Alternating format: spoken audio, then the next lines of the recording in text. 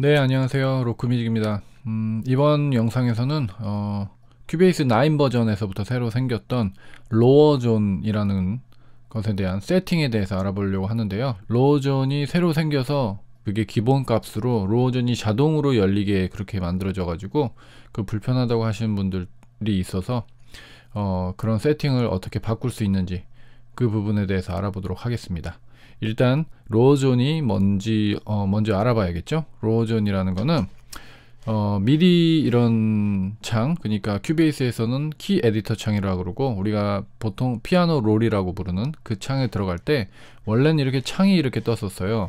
윈도우를 쓰시는 분들은 전체 화면을 아예 놓고 하시는 분들도 계셨고요. 근데 Lower Zone이 생기면서 큐베이스 9, 그러니까 9 버전부터 생겼는데 더블 클릭을 해서 들어가면 창으로 안 생기고 밑에 이렇게 생겨요. 이게 편리하다고 하시는 분도 있는데 일종의 그 로직이나 에이블톤 라이브 같이 그런 방식으로 조금 바뀌었거든요. 근데 기존의 큐베이스에 익숙하신 분들은 이 방법이 좀 불편하다. 이거 왜 자꾸 이렇게 하냐. 물론 창으로 띄우는 방법이 있는데 두 번, 세 번 이렇게 걸쳐서 하게 되기 때문에 좀 불편하다고 하시는 분들도 있었어요. 사실은 이 Lower Zone에 여러 기능들이 많이 들어갔거든요.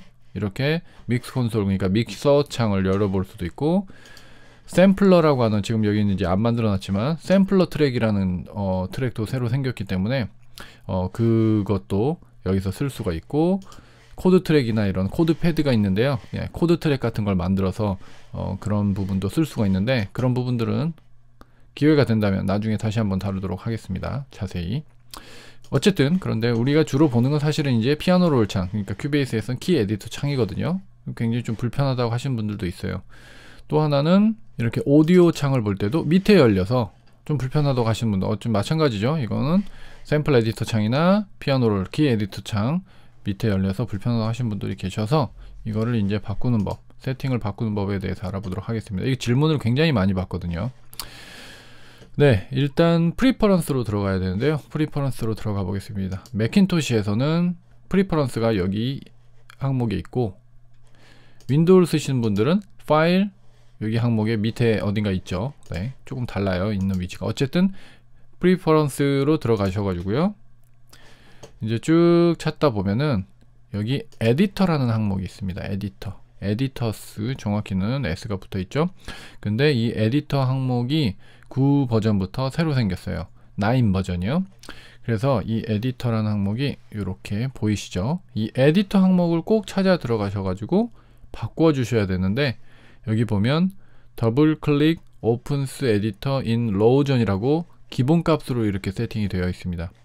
이걸 누르셔서 창으로 열겠다, 윈도우로 열겠다, 그러니까 창으로 열겠다고 바꿔주시면 됩니다. 바꿔주시면 다시 한번 볼게요. 그러면 apply 누르고 아까 전에 미디 창 아무거나 한번 열어볼게요. 여기서 열면 이제 창으로 열리죠. 이렇게 창으로 열리죠. 이게 하나의 방법이 있고요.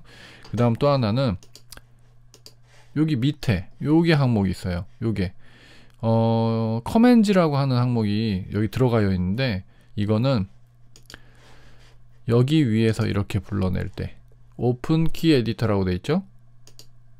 이렇게 생기죠. 지금 여기서 혹시라도 쓰시는 분들은 여기서 불러가지고 더블 클릭이 아니라 open key editor라고 하시는 분들은 아까 이제 그 밑에 있는 게 적용이 됩니다. 그래서 여기 밑에 있는 항목 Lower Zone으로 되어 있죠 지금? Lower Zone으로 지금 되어 있는데요. Lower Zone 되어 있는데 이걸 윈도우로 바꾸면 마찬가지로 여기를 더블 클릭할 때도 윈도우 창 여기를 할 때도 윈도우 창 이렇게 됐죠? 그러면 이걸 이제 능동적으로 좀 자기만의 세팅으로 바꿔서 하실 분들도 계시겠죠. Lower Zone으로 해놓으면 더블 클릭할 때는 Lower Zone으로 열리고 위에서 메뉴로 열 때는 창으로 열겠다 하시는 분들은 더블 클릭으로 열 때는 Lower Zone. 그리고 창으로 열겠다 하시는 분들은 여기 미디 그 다음에 open key editor를 누르시면 창으로 열리게 됩니다. 이렇게 좀 능동적인 세팅을 하실 수 있게 되, 었습니다. 9 버전부터 가장 최신 버전인 10 버전까지 이 기능이 이렇게 똑같은 메뉴로 생겨났습니다 참고로 이 Lower Zone을 껐다 켰다 하는 단축키는 어, 여기를 보시면 오른쪽에 여기를 보시면 여기 있어요. 이게 사실 Lower Zone을 껐다가 켰다가 할 수 있는 그런 이제 어, 메뉴 그러니까 아이콘인데요. 버튼이죠 일종의. 근데 가만히 들고 계시면 단축키가 이렇게 살짝 보여요. 단축키 좀 작게 보여가지고 아마 이걸 나중에 화면으로 보시는 분들은 잘 안 보이실 것 같은데 살짝 보여요. command option E, command option B 이렇게 두 개가 나와 있습니다. 맥킨토시에서는 옵션이 윈도우에서는 Alt거든요. Alt. 그렇기 때문에 윈도우에서는 control Alt B가 되겠네요. 눌러볼게요. command option B 되죠? 뭐 하나 선택해 볼게요. 그럼 열리겠죠? 이렇게 껐다 켰다 되죠? 그리고 윈도우에서는 control Alt B가 되겠죠. 근데 여기 똑같이 컨트롤 그러니까 command Alt E가 있어요. 네, 이것도 열 수 있어요. 사실은 이건 에디터에 E를 딴 것 같아요. 그래서 B는 뭐냐면 bottom, bottom이에요. bottom 밑에 여기 보면은 left, right거든요. 그러니까 사실은 여기 왼쪽에 보이는 이 inspector 창, 그다음에 오른쪽에 보이는 이 가사기 불러오고 MediaBay나 뭐 미터기를 볼 수 있는 이 창, 이게 똑같이 어, 맥킨토시는 command option, Windows는 control alt를 누르고 left를 없애고 싶으면 L. 오른쪽을 없애고 싶으면 right를 없애고 싶으시면 right 밑에를 있었다 없었다 하고 싶다 그러면은 bottom B예요. 이렇게 세 가지가 있었거든요. 근데 10 버전에선 E가 또 있어요 E. E는 아마 에디터에 아마 앞자를 딴 것 같은 생각이 듭니다. 어쨌든 네. 이렇게 단축키로도 껐다 켰다 하실 수 있기 때문에 네. 단축키도 알고 계시면 굉장히 유용하게 쓰실 수 있을 것 같습니다 여기에 단축키가 기억이 잘 안 난다 그러면 여기다가 커서를 이렇게 살짝 갖다 대면 여기 밑에 이렇게 설명이 나온다는 거. 그거를 보시면 되겠습니다.